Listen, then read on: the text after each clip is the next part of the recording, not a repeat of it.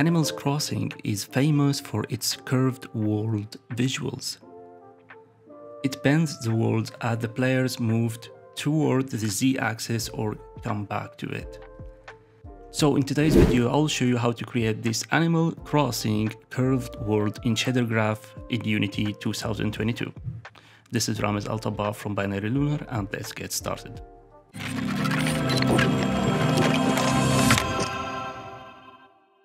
Before we proceed, we are proud to announce that we released the Ultimate 2D and 3D Shader Graph course for Unity. You can get that course now on Udemy for great discount. This course contains my whole experience during the three years of creating shader graphs. It's suitable for everyone, from the beginners to intermediate level, and it will guide you with steady steps to create awesome visual effects in your video game. It contains 13 projects which has been explained in details to increase your knowledge. So enroll today and enjoy the great discount which I provided down in the description.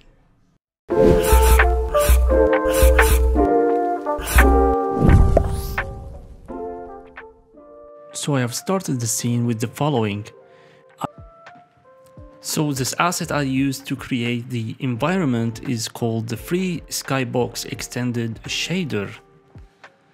I imported that, then I replaced the terrain with a terrain that I created and duplicated some assets like the trees, the fences and the grass in the scene to create a large scene. Then I used the Quirky series to create this cute Gazelle.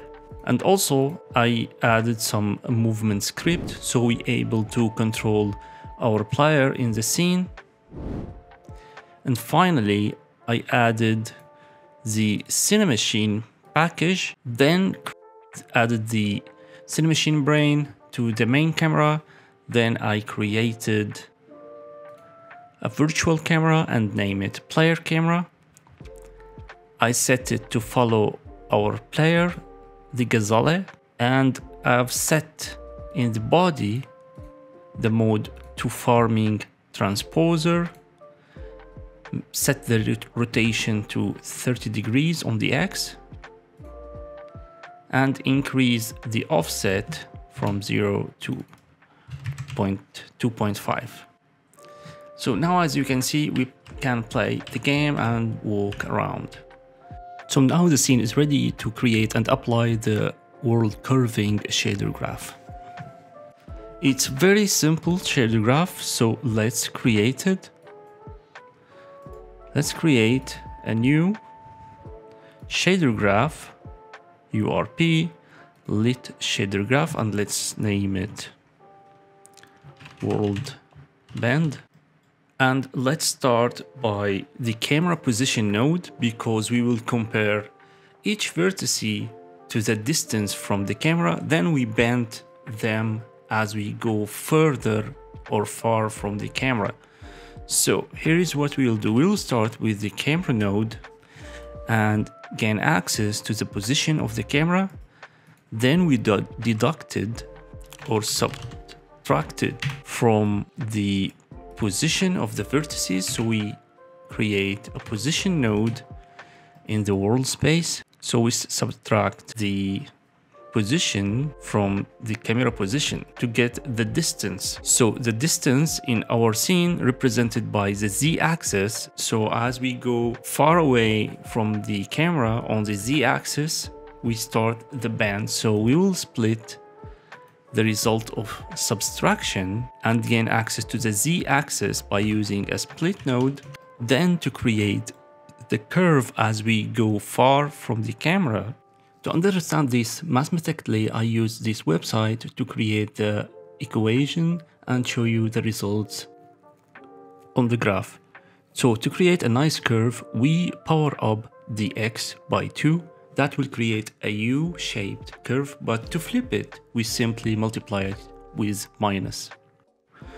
We power up the distance on the z-axis, then we create a parameter to control the curve amount.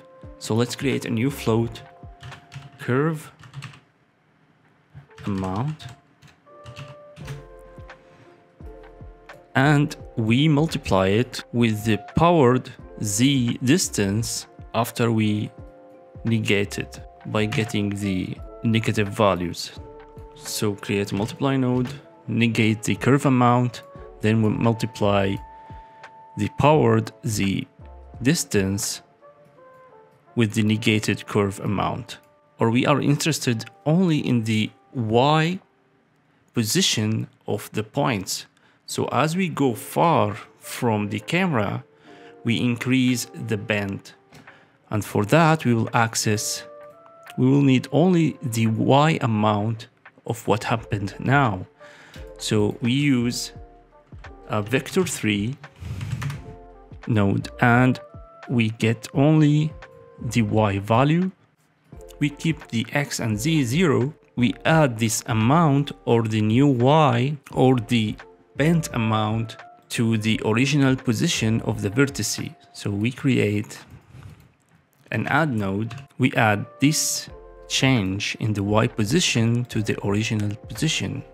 And simply we connect the results on the position on the vertex. And for rendering our textures, we simply can leave it to the color if your game objects doesn't have texture or we simply can create a sample texture 2D and create texture 2D node.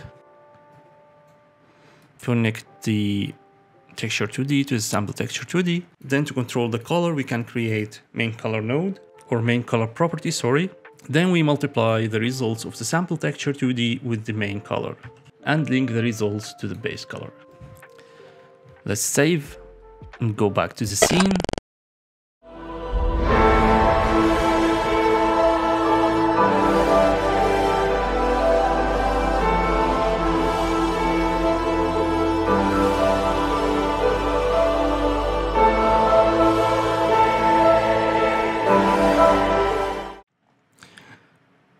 We have made a mistake. We have calculated everything in the world space and we forgot to convert it to the object space.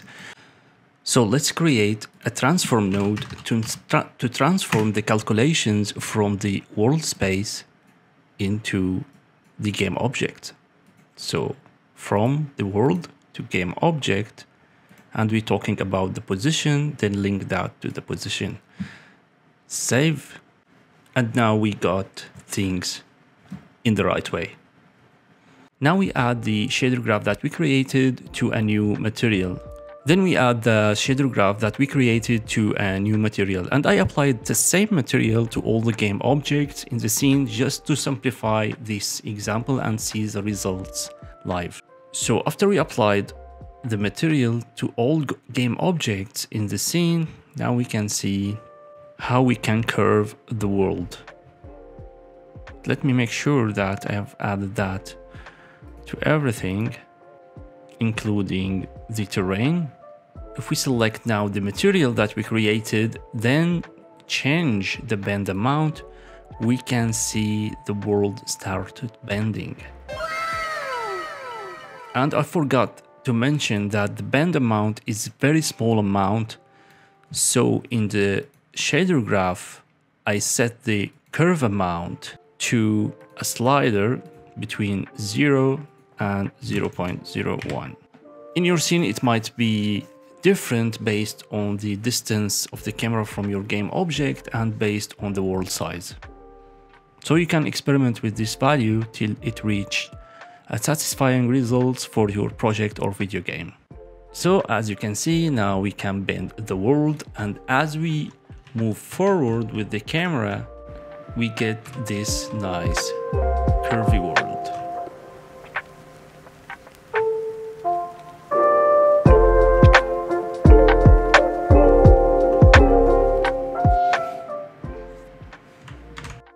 And that's it for today's video. If you enjoyed what you watched, don't forget to hit like, subscribe and the notification bell to get notified about the next video.